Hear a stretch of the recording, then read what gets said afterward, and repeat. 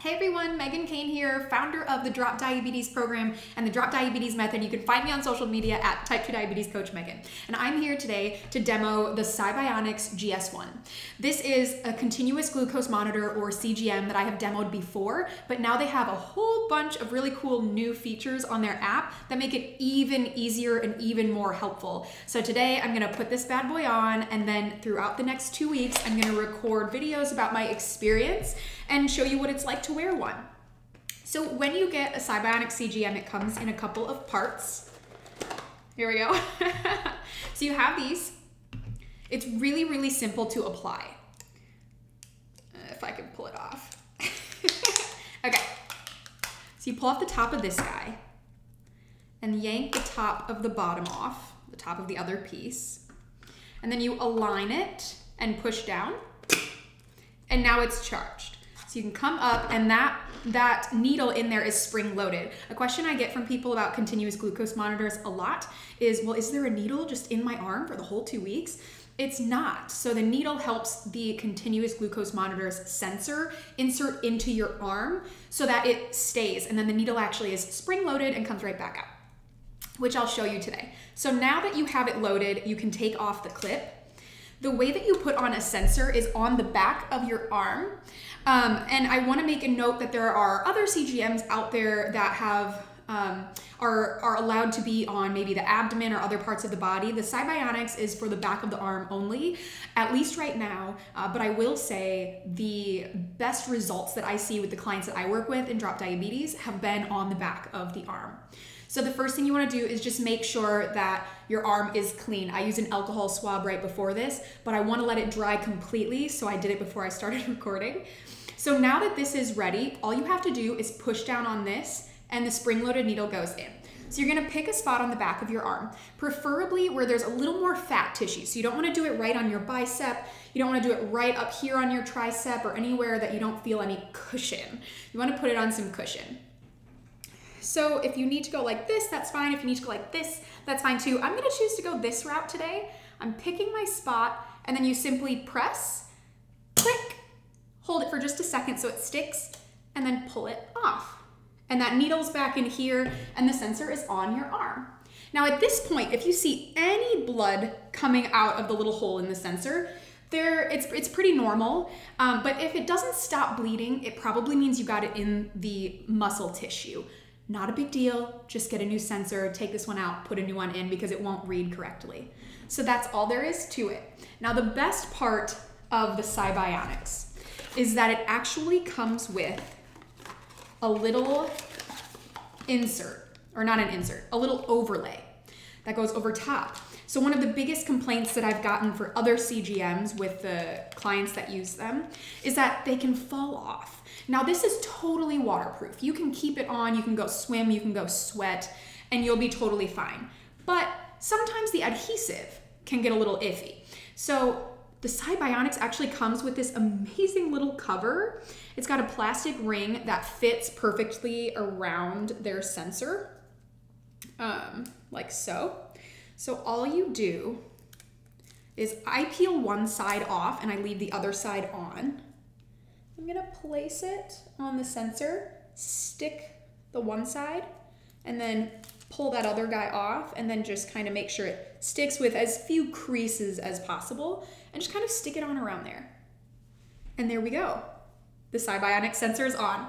So it's that easy. I know I got mine a little wrinkly here, but you can even readjust it and take it off and, um, and re, it's pretty easy. I'll show you actually, because this happens sometimes.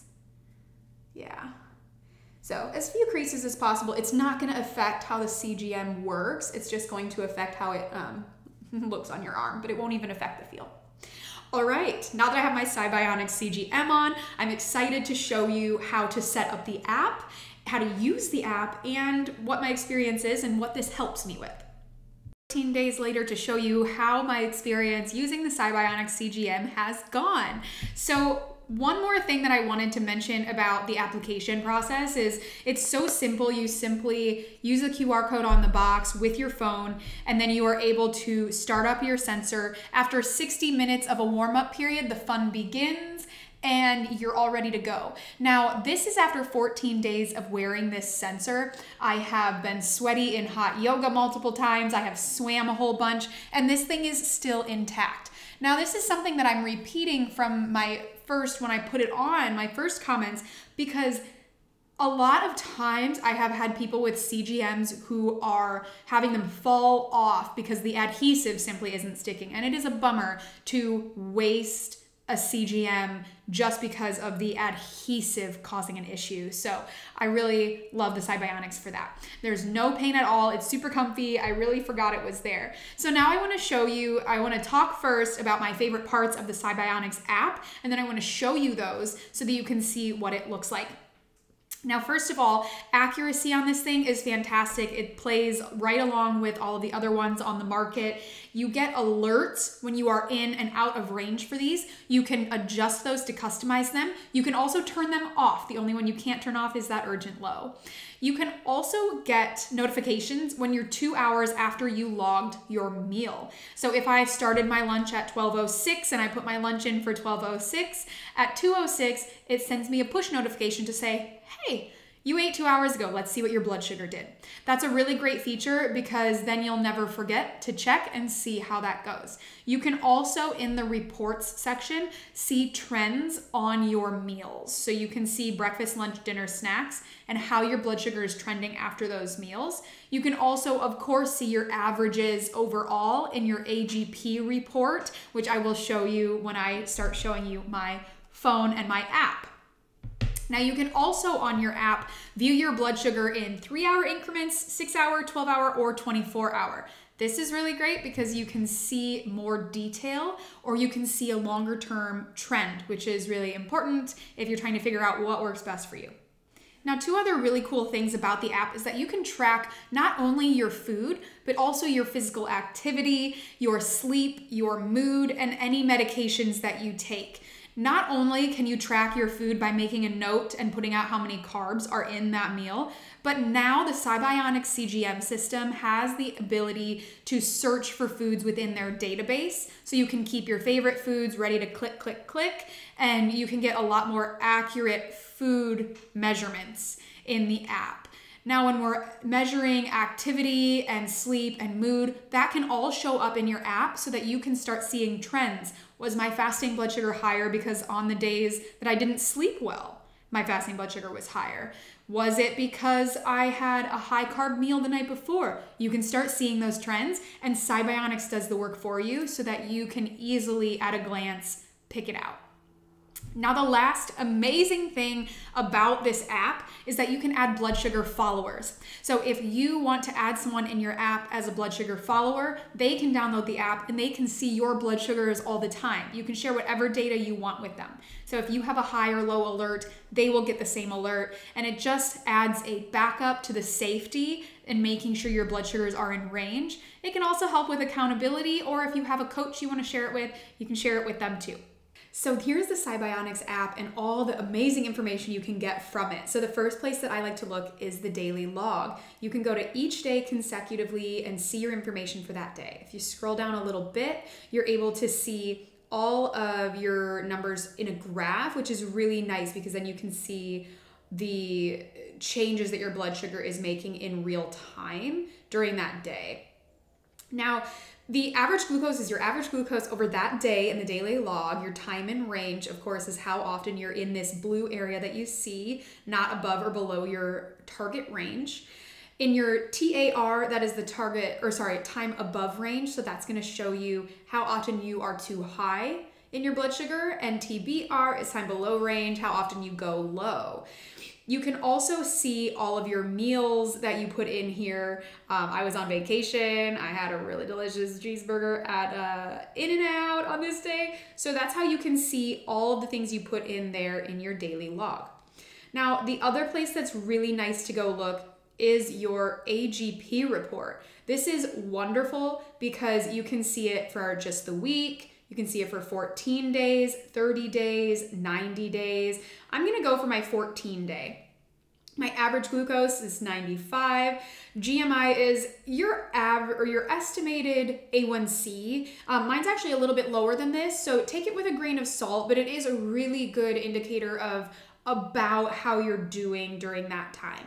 Shows you your time in range. And then, of course, this coefficient of variation, this is how much your blood sugar fluctuates up and down. Now, I'm gonna actually go to my 30 day because it will have enough information to show me my graph. Now, the ambulatory glucose profile, the AGP report, this is amazing.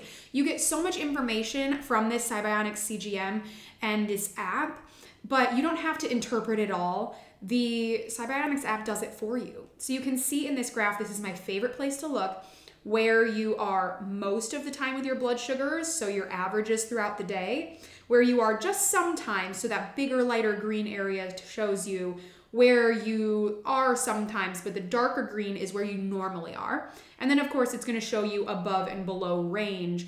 So now you can see, okay, around 1 p.m., 2 p.m., my blood sugars are typically a little higher than I want them personally. So, what do I need to do at that time? It shows you what you need to target and how to do it.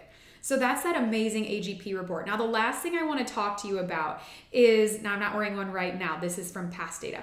So I want to show you how to add in a meal or your mood. So let's say I click on mood at this time right now, I'm feeling hungry. Maybe I'm absolutely starving.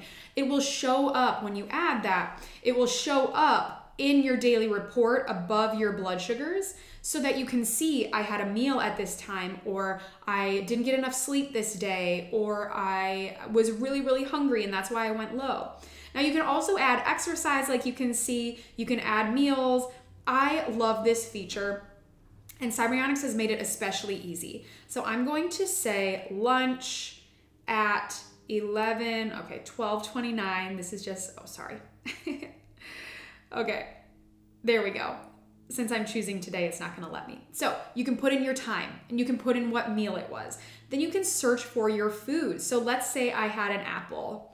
I'm just gonna put that in here. You can add this by clicking the plus button, add your portion size, and then say addition completed, and then it's gonna show up in your food intake.